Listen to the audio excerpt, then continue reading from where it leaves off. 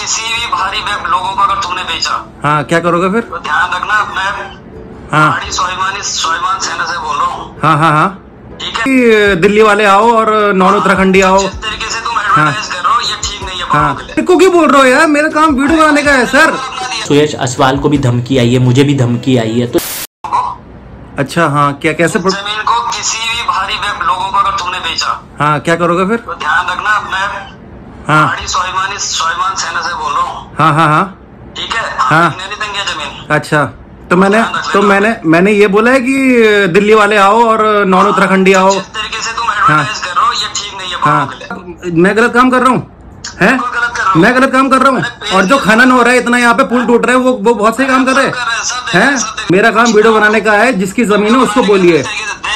उसको उसको ड, उसको डराइए मेरे को मत डराइए। जिस जिसको क्यों बोल रहे हो यार? मेरा काम वीडियो बनाने का है सर। को कि मैं क्यों बैठाऊं? मैंने कुछ गलत काम किया। मैंने कुछ गलत काम किया। जो गलत काम कर रहे हैं उनको जाके रोको आप।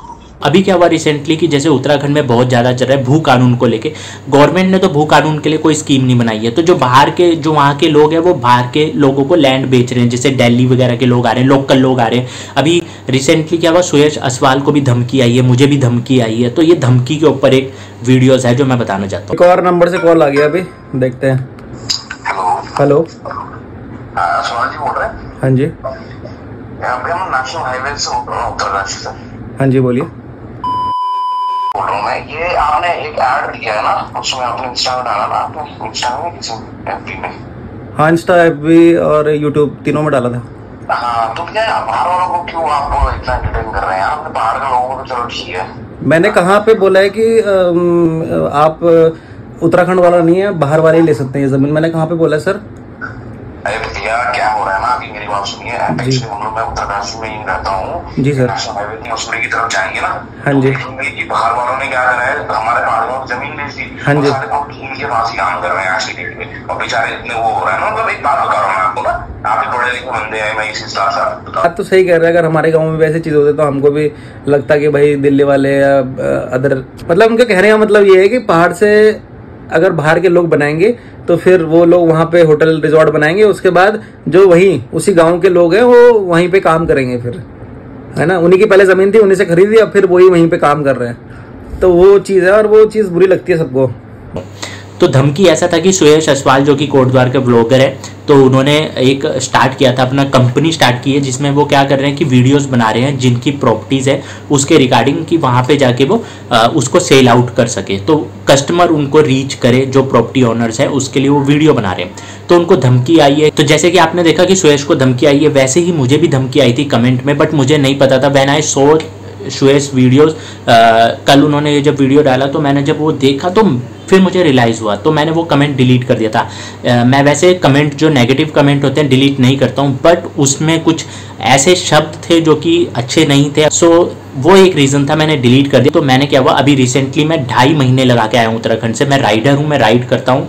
ये मुझे एक राइड की तरफ़ से मिला था हमने इंडिपेंडेंस राइड की थी। मैं एक्टिवा से राइड करता हूँ लेह लद्दाख केदारनाथ बद्रीनाथ सब राइड्स की है। वैसे चंडीगढ़ रहता हूँ पर पौड़ी का रहने वाला हूँ।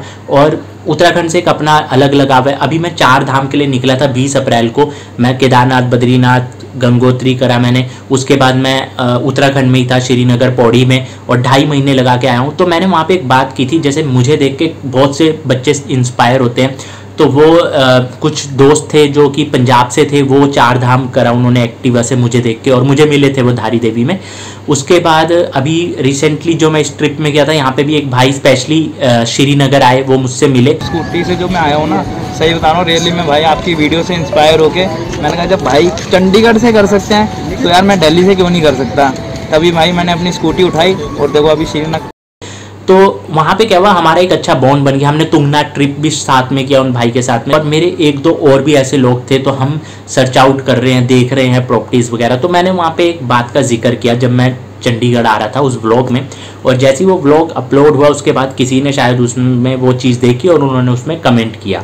तो वो कमेंट मुझे सही नहीं लगा, मैंने उसको डिलीट कर दिया। बट उस टाइम पे मुझे वो चीज़ रियलाइज़ नहीं हुई। लेकिन जब मैंने सुयश का ये वीडियो देखा, तब जाके मुझे रियलाइज़ हुआ कि नहीं यार, ये तो बहुत ही एक बड़ी चीज़ है। क्योंकि यहाँ पर क्या होता है एक आपकी नेगेटिव इमेज भी चली जाती है। हाँ मैं अंडरस्टैंड करता हूँ, क्योंकि उस टाइम पर मुझे नहीं समझ में आई थी वो चीज़ बट अब मैं अंडरस्टैंड करता हूँ। क्योंकि देखिए, क्या होता है, अगर हम लोग ही लोग बाहर के लोगों को प्रॉपर्टीज़ बेचेंगे तो फिर वही होगा कि उत्तराखंड में ऑब्वियसली जो चल रहा है उत्तराखंड में अभी, कि उत्तराखंड में उत्तराखंड के लोग नहीं होंगे, बाहर के लोग जो बस ही रहे हैं ऑब्वियसली वो बसेंगे। ऑब्वियसली अगर मैं ऐसे करूँ, मेरा अच्छा कनेक्शन है, दूसरा भी ऐसा करे, अरे मैं उसको अच्छे से जानता हूँ, मेरा अच्छा कनेक्शन है, और सब ऐसी अगर बाहर प्रॉपर्टीज़ बेचने लग जाए तो वो एक फिर दिक्कत की बात है। तो ये चीज़ मुझे पहले समझ नहीं आई थी बट मुझे अब आ गई है, और अब मैं कोशिश करूँगा कि ऐसी चीज़ ना हो क्योंकि अभी हम एक प्लान कर रहे थे और मैं सॉरी बोलना चाहूँगा उन सबको जिनके साथ भी मेरी बातचीत चल रही थी इस चीज़ को लेके कि हम उत्तराखंड में आपके लिए प्रॉपर्टीज़ देख रहे हैं ये वो। तो आई एम रियली सॉरी क्योंकि यहाँ पे क्या है एक थोड़ा सीरियस मुद्दा है और आ, मैं इसमें कुछ हेल्प नहीं कर पाऊँगा। तो उसके लिए आई एम रियली सॉरी क्योंकि कहीं ना कहीं पे देखिए मेरा हमेशा से एक उत्तराखंड के लिए एक अलग लगाव रहा है। ये आ, एक ये अवार्ड है तो विच आई गोट फ्रॉम जो हमारी चंडीगढ़ की जो गढ़वाल सभाएँ हैं तो वहाँ से मिला था बिकॉज़ चंडीगढ़ में जैसे कि गढ़वाली मूवीज़ नहीं लगती थी बहुत पहले लगी थी तो मैंने बहुत ही एफर्ट करके जो मेरू गोम ब्लॉकबस्टर मूवी थी उसको अपने कहने पे चंडीगढ़ में लगवाया और उसका प्रमोशन किया। पूरा जितने दिन शो था मतलब एक हफ़्ते के लिए लगाई थी दो हफ़्ते मूवी चली थी। बस मेरा एक सपना था कि हमारी जो उत्तराखंडी मूवी है वो चंडीगढ़ में क्यों नहीं लगती है?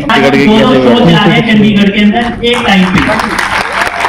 थी और पहली मूवी ऐसी थी जो पीवीआर में संडे के दिन में हाउसफुल हुआ शो उसके बाद जो पीवीआर के एरिया मैनेजर है, उनका सुबह सुबह मुझे सात बजे कॉल आया कि हमें दूसरा शो खोलना पड़ेगा क्योंकि पीछे से क्राउड बहुत ज़्यादा आ रहा है। तो हमने एक ही दिन में दो शो लगाए थे चंडीगढ़ चंडीगढ़ के अंदर। तो वो मेरे लिए एक प्राउड की बात थी कि मेरा उत्तराखंड के लिए एक अलग प्रेम प्यार है। हम उत्तराखंड से हैं। तो हाँ कई बार हमसे गलती हो जाती है। इस चीज़ को मैंने नहीं सोचा था। मैं एक दोस्ती के नाते कि हाँ यार, दोस्त हैं, अच्छे हैं तो है।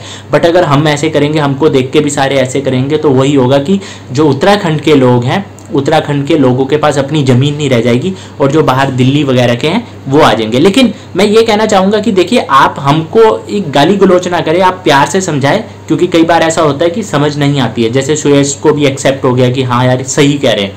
और मुझे भी अब समझ में आ गया कि हाँ यार, ये चीज़ एकदम सही कह रहे हैं। लेकिन जहाँ आपको गुस्सा दिखाना है, वो है उत्तराखंड गवर्नमेंट। क्योंकि उत्तराखंड गवर्नमेंट ने अभी तक भू कानून को लागू नहीं किया है।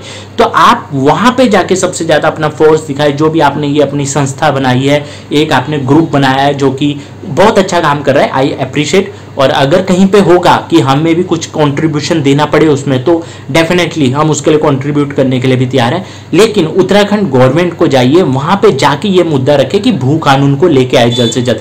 क्योंकि अभी भी आप देखें तो कुमाऊ की साइड चले जाओ। कुमाऊ की साइड में अभी भी धड़ल्ले से जमीनें बेची जा रही है, जो बाहर के लोग हैं। तो बाहर के लोग प्रॉपर्टीज़ खरीद रहे हैं। वो यूट्यूब में वीडियोस बना रहे हैं कि आप उत्तराखंड में कैसे प्रॉपर्टी खरीद सकते हैं। तो उसके लिए आपको उत्तराखंड गवर्नमेंट को टारगेट करना होगा कि जल्द से जल्द भू कानून लेके आया जाए। हम तो समझ गए। ठीक है? लेकिन जो समझना नहीं चाह रहे, उनको आप ज़्यादा से ज़्यादा समझाने की कोशिश करें। बस यही कहना चाहूँगा।